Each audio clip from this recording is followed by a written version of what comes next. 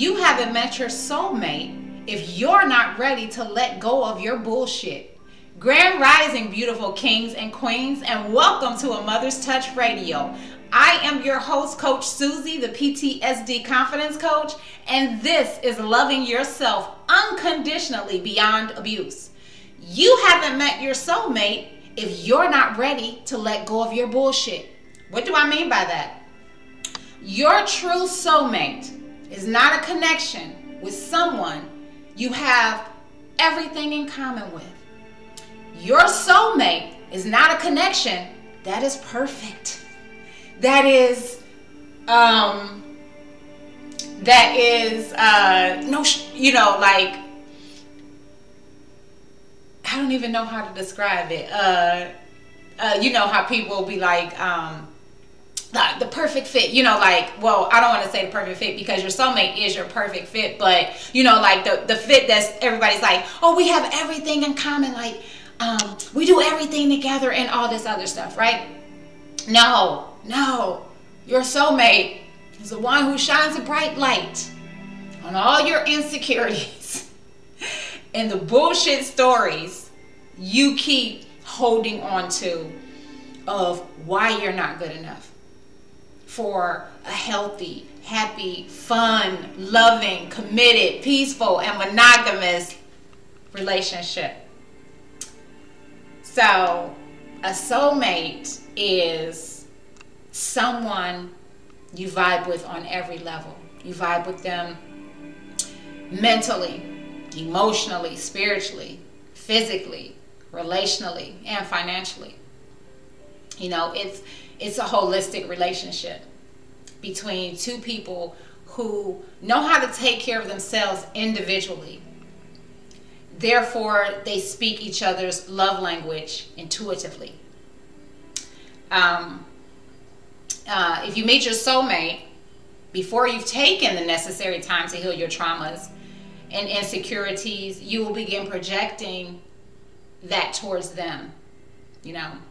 Um, and sometimes you guys need to separate before you can come back and truly appreciate each other. So a lot of people call it a, a twin flame, but I, you know, I, I really don't focus so much on the labels. I focus on the connection, you know, because your soulmate is really going to just really put a mirror up to you. It really is a reflection and it's it's showing you everything that's holding you back. Your addictions your excuses um, your game the games that you're playing with other people. That that story that victim story you've been holding on to for years you blaming people you know for why you're the way that you are. Um, you know a soulmate relationship is really a team and collaborative connection because that connection alone will help other people to um, grow in love for themselves and others too. You know, because when you and your soulmate come together, everybody can see it. Like, like y'all just radiate love like it's nothing but love. And because a lot of people settled in their relationships, they they're not happy with that. And and they don't they don't want you to be happy, especially if you're in separation with your um, soulmate. Like if you guys had to separate to grow, you have a lot of third party people involved, you know, that are that you know i've said before that we don't we don't wrestle with flesh and blood. We, we wrestle with spirits you know? And a lot of people are continuing to hold on to other people that they know are not their soulmates you know? They use manipulation and control and you even have family members that you know that when, whenever you come back from being with your soulmate or you and your soulmate interact or even if y'all in separation because your soulmate is always within you right that soul is always in you so when you when you're spending time by yourself and you're glowing that really is you know, your soul glowing.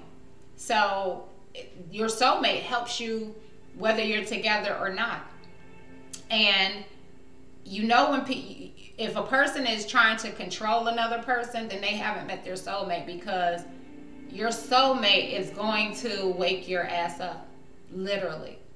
Like wake you up, and you're gonna be like, "Oh my goodness!" Like, I got to get my shit together, cause this is what I want.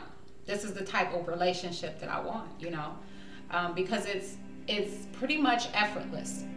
Like y'all just flow together. Like it's it's like no other relationship that you've ever had before in your life. Like it just comes naturally. And it comes naturally because you're with your own soul. It's just another soul in a different body. That's all that it is. You know, and um that's how you know it's your soulmate. And I know I say, you know, um, that I want, I, I, would like a masculine, you know, uh, a masculine body, you know. But if we were all souls, I don't think that we would pay so much attention to that. But because we're a human and a soul, sometimes we do pay attention to that, and then other times we don't, you know. That's why I tell people, like, I don't I don't knock anybody for what they do because I don't know what their soul is telling them to do. I don't, you know. But because I've already met my soulmate, I know that's who I want. and but the thing, the beautiful thing is is that I needed the separation to know that even if we don't come back together, guess what? I'll be okay. I'll be okay. Because I used there used to be times where I just I would cry all the time, you know. And now, when I think about the connection, I'm okay. I, like, like I have no need to, you know, like before it was like this, this need to have a life with him, you know. And you know, I'm not saying that, you know, if, if we get back together and and and grow a friendship, you know, that I wouldn't want that because I absolutely do, but what I'm saying is that because I know how to live without him, I can live without him. No matter how hard that may be, you know. Um, and you know, I haven't well, I've known that, you know, from the beginning that he was someone special in my life. I really didn't know, you know, I would talk about soulmates and all that other stuff, but I really didn't learn about twin flames until we separated and then that's when everything just started popping up, you know, and I started learning about it. And I started to piece stuff together, but I still was in a lot of doubt. I still had a lot of doubt, like, like, no, this is not possible. Like, how is this possible? You know, still questioning things and and then I was paying a lot of attention to what was going on outside. So, you know, like checking his pro, you know, like stalking his social media and stuff like that. And then seeing him with other people and it was like you know well this this is not my soulmate then you know um and so you know uh, kept trying to chase behind him and all this other stuff and then when i finally went ahead and let go i, I allowed distractions you know? Instead of being con- and then i kept you know like oh is this my soulmate? Oh is this my soulmate? Oh is this this one? No no. So after this last relationship I was just like, you know what? I, I, you know who it is, and that's why things don't work out with the other people. If you've met your soulmate and you're running from your soulmate, because a soulmate is the only one that really and truly can hurt you deeply. It really and truly can. It can tear you apart. But I also know that we needed to separate so that I, so that if he were to hurt me again, I would be strong enough to walk away, even from a soulmate connection. And I think that that's really what it's all about, you know.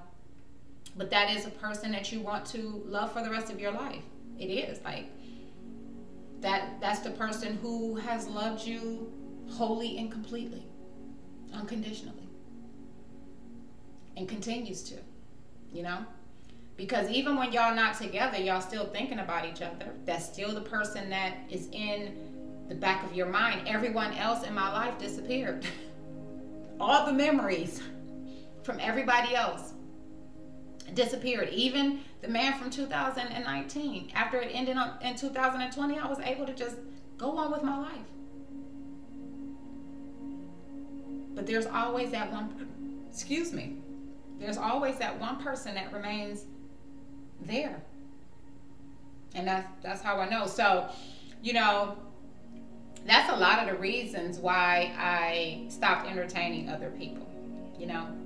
Um, and I am more interested in being their platonic friend because I know what I want. I know the kind of love that I want. And, you know, I, have given people too many chances because, you know, it's like, well, let me show you that I that I can love you. And it's like, you know what? It's always missing something. You know what I'm saying? Like with your soulmate, like I said earlier, it's holistic. It's on every level. But with other, with the other people, it was always missing something. It was always missing something.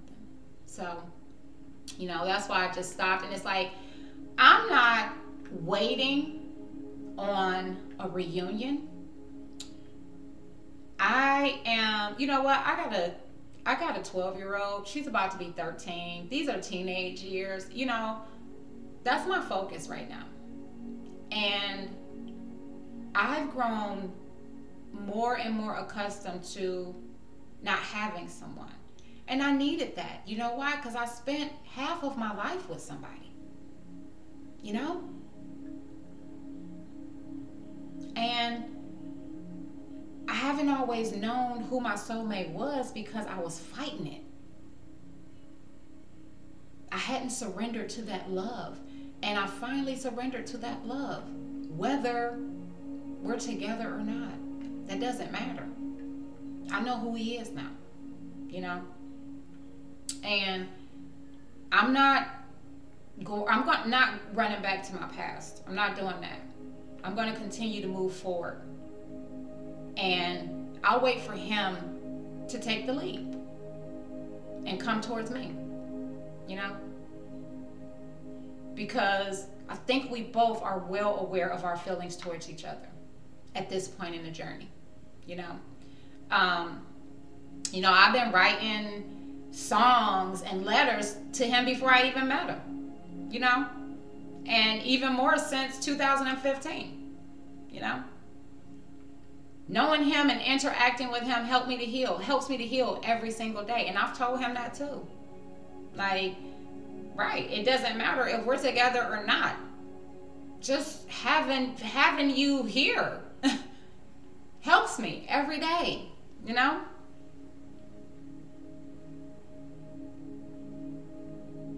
and you know i think i was so focused on the physical aspect of it that I was stressing about that. But the most amazing thing is that even if you're not with your soulmate,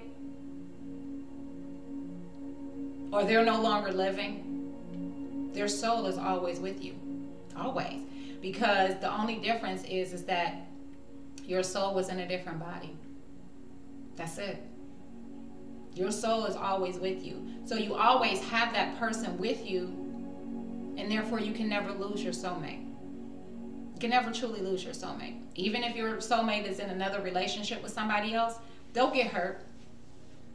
They'll get hurt because that's not the relationship they're supposed to be in anyway. But it is it's not the same hurt as a soulmate.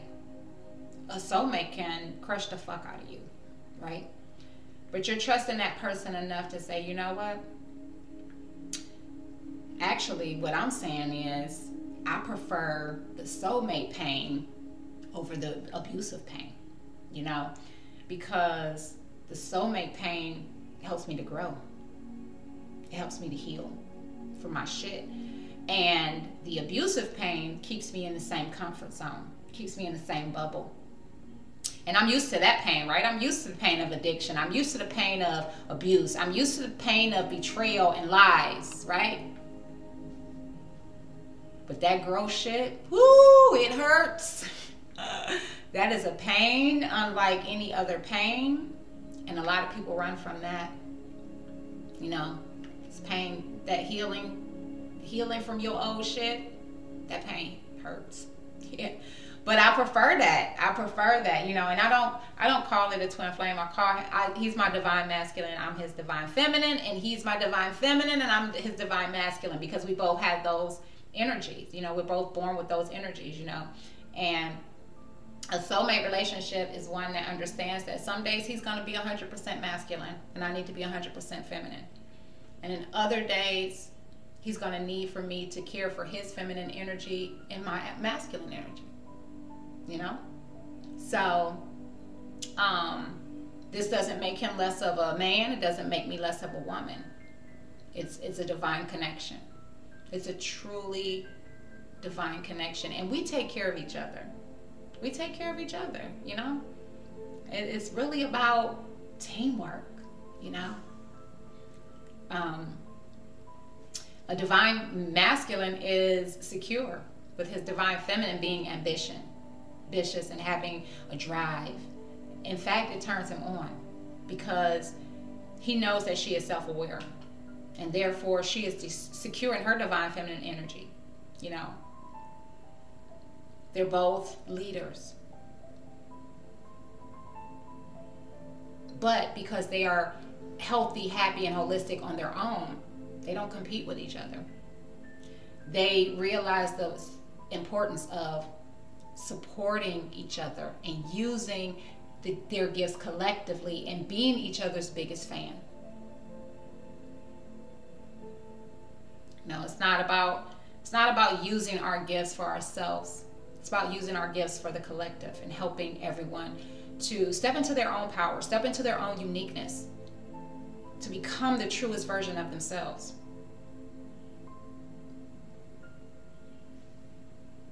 You know, it's it's about what can we give in service? How can I serve others? You know, to become healthier, happier, and whole on their own self love healing journey because that's what we're all doing, whether we realize it or not. We're all on a journey back to love and healing because there has been so much hatred in the world. You know, there's when you are in a, a divine relationship, you recognize that there's no I in team, you know, that no one wins unless we all win you know, because we can't all win. Um, especially when when love is bigger than ego and power. When we recognize the importance of submitting and surrendering to each other. Because the divine masculine is not greater than the divine feminine. They're both spiritual, powerful, loving spiritual beings. And they both walk in that equally. Um, you know, a, a divine, a divine connection is a divine team, and we work together collectively to resolve conflict in a healthy way. You know, we figure out how to collaborate our needs. You know, as a team instead of trying to compete and, and trying to gain the upper hand on the other person. A divine team never seeks to tear each other down with, with, with harmful words and harmful actions because they're too busy busy building each other up, loving each other. So, how can you attract your divine true soulmate? So, as I've stated before, I started loving myself unconditionally in 2006. Um, but I didn't decide to take the deeper dive until I met my soulmate. Once I met my soulmate, then that was like, like it really did. It flashed a light, and it was like, that was the only man that I was like, you know what? I gotta, I gotta cut this shit out. You know what I'm saying? Like, I gotta let this shit go because all this shit that's going on in, on inside of me, it's gonna hurt this other person, and I don't want to hurt this other person, even though I did it because I was selfish because I was selfish and still trying to hold on instead of saying, you know what, I trust God. I know that this is, but I didn't know that He was my soulmate. I didn't know that. I knew he was someone special, but I didn't know, or I probably didn't believe. And I had to really go and learn to love myself unconditionally, learn to love the divine within me, to learn to love my divine masculine that's in me. And that's when I knew that's my soulmate. So, you know, you have to learn how to love yourself unconditionally beyond abuse and work through your traumas and insecurities. So you stop attracting karmic partners and people who are sent to distract you from loving yourself unconditionally. And if you are ready to love yourself unconditionally beyond abuse and you want a free trial, subscribe to my newsletter and receive your access to a private, safe, and secure community. In there, I'm going to be uh, once a month doing lives, but I will be um, doing videos every single day on um, on the 30 day uh, workbook, you know, the questions that come with the workbook. So um, it's a 30 day trial, you know. If you want to stay in that group, um, we'll just repeat every 30 days, you know, until you are ready to dive deeper. And if you, once you're, once you've had, you know, a few months on your own self love healing journey and you're ready to go deeper in a supportive community, then you can um, receive a discount, a, a, cheaper price to join the paid community. Um, because that one goes a lot deeper. We're working very deeply on the individual pillars, and so that is a paid community because um, I want you to get out what you put in. Okay. So, um, and that one, there's meetings twice a month, um, live meetings. But in the in the free group, I will do monthly live meetings um, for anyone who joins. So we have come to the end of the the podcast, the uh, broadcast. And if you are listening by uh, on Anchor or Google Podcasts or Spotify or Pocket Cast, uh, please go ahead and share this episode with anyone you feel may uh, enjoy. If you are watching on YouTube, uh, please like, comment, subscribe, and share to anyone you think may get some value out of this episode. So I would love to know what you guys think. Um, I thank you all for joining me. And as always, I am going to uh, talk about A Mother's Touch Inc. It is a community organization that assists men and women financially who are leaving domestic violence relationships and having a hard time financially. It also provides loving support and mentoring for any person who desires to live a healthy, happy, and holistic life with a mental barrier. The Loving Yourself Unconditionally Beyond Abuse Facebook community and organization was created based on the desire to be the community and organization that I needed when I found myself struggling financially after leaving an unhealthy and abusive relationship. The organization is also a proud collaborator with community organizations whose mission is assisting families and co parents with becoming the healthiest and truest version of themselves. Healthy adults raise healthy, happy, and holistic children who have a healthy love of themselves and others. If you are someone you know is in need of financial assistance, or if you are interested in donating to our mission, please visit uh, www.motherstouchinc.org to fill out the financial assistance form or to make a donation. All donations are greatly accepted and appreciated. And before we go, you know what I have to do. I have to send us out with a prayer of love. Dear universe, oh, I love you with everything that I am. Every fiber of my being speaks your name. I love you more than than life itself. You are my world, my life, my everything. You are the air that I breathe. You are my prana, my chi, the song that I sing, my melody, my harmony. I love you and I thank you. There is no greater love than the love that you have for me. And I love you just as deeply. Just as deeply. You have all of me, my heart, my mind, my body, and my soul. Hmm. I- am thankful.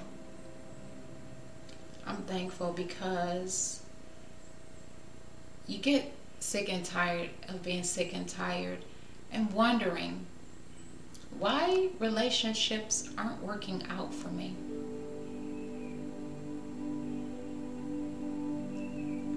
It's because you have not tapped into your soul's love. You haven't learned to, to love both of the energies within you. You haven't learned how to love yourself unconditionally beyond abuse and take care of your every need before you get in a relationship because then you're expecting someone else to take care of those needs. And, and we should. But we all we automatically know that instinctively when we meet the right one. There's never there's never any any need to to put extra pressure on them. Yes, we can speak our needs because they're not going to get it 100% right all the time either. And that's why it's important for us to love ourselves enough to know that on the days when they're having their moments, when they're having their days, that's our cue to take care of ourselves that day, to love ourselves that day. We've been doing it the whole time while we've been single. So on the days when that person needs their time, needs their their self-care time, then you go and take care of yourself too.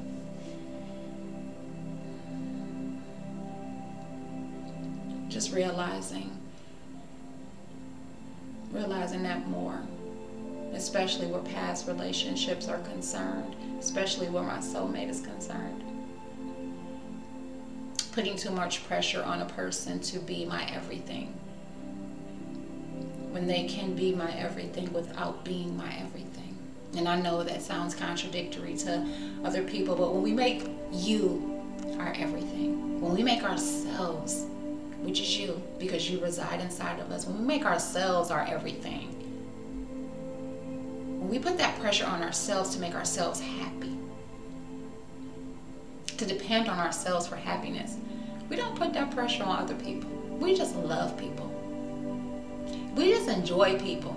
We appreciate people for being in our lives. I'm so thankful for this journey for everything that I have gone through because it has been the greatest teacher and it is a privilege and an honor to teach others who are where I was. That it added value to my life and I never saw that. And now I can teach others how to get through. Because it's not just about going to sit in a church pew re- reading some words that you don't even believe yourself. It's about having your own biblical experience. It's about going through your own wilderness. It's about being in your own pit and meeting God at the bottom and building that foundation first. Because no relationship will ever be safe and stable and secure without each person having a firm footing, a firm relationship with you first. A healthy relationship, a healthy relationship with themselves and you. And it won't stand on just physical attraction alone. You have to get to know someone on a mental, emotional, and spiritual level before you even go to physical intimacy. Because you have to know what this person deal, deals with on a daily basis. most of us are too ashamed of our past, too ashamed of who we've been, what we've done, how we've acted.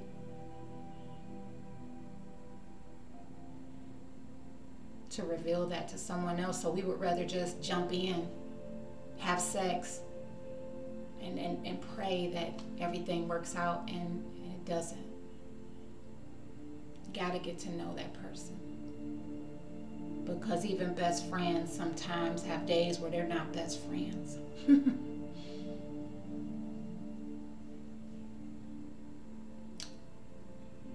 I thank you for being my best friend, though. I thank you for being my greatest, my truest confidant, and my greatest supporter, my lover and my man. I am yours wholeheartedly, mind, body, and soul. Whether I live in famine or whether I am feasting, whether I live in abundance or in need, whether there is sunshine or rain, whether I am in, in pain or I'm joyful. because I know that joy is everlasting, but we we have to have we have to experience pain. Growth is pain, and we grow at every level.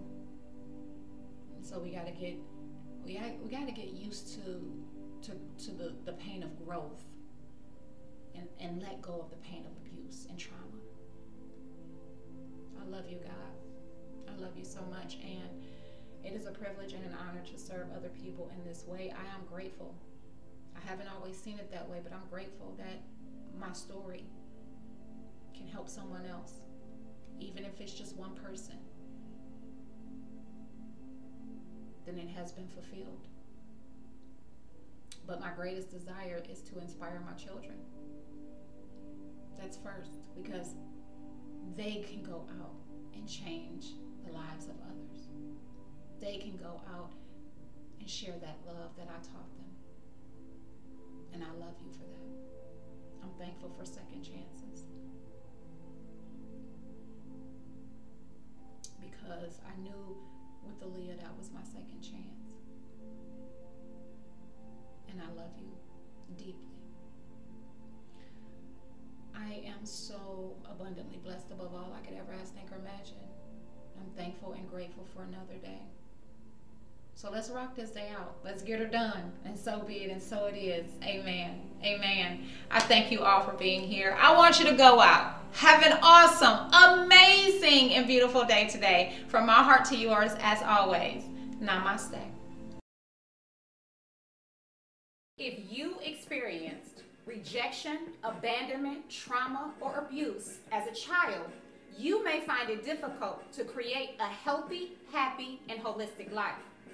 You are not alone. I am Coach Suzie, and I am a survivor of addiction and narcissistic domestic violence abuse. I was raised by a mother who experienced narcissistic personality disorder, and I experienced every type of abuse. I was rejected, abandoned, and traumatized before the age of 10 as I grew older, I attracted these same type of relationships into my life because this was my life. It was all I knew, and it was what I was accustomed to until I introduced myself to something different. In 2015, I left a 20 year unhealthy and abusive relationship with a man who struggles with narcissistic personality disorder and I began a journey into loving myself unconditionally. It took me five years to accomplish living a happy, healthy, and holistic life, and that was primarily due to the lack of financial and educational resources for people like me who were severely traumatized as children and grew up in impoverished neighborhoods. The Loving Yourself Unconditionally movement was created from the mind of a traumatized child who struggled for years with self-doubt and low self-esteem. But I learned to love herself unconditionally beyond past abuse and thrive successfully in life with PTSD, bipolar disorder, and ADHD. I struggled to love myself unconditionally due to the mental and emotional abuse I received as a child. The voices of doubt, fear, and not good enough would constantly haunt me until I began to change my mind. The Loving Yourself Unconditionally movement is a community of people who desire to learn practical and effective ways to love themselves unconditionally beyond abuse. The Loving Yourself Unconditionally movement is not about chasing perfection and trying to be perfect. It's about learning to love yourself unconditionally in every area of your life, no matter what that looks like. It's about becoming the healthiest, happiest, and truest version of yourself, no matter what that looks like.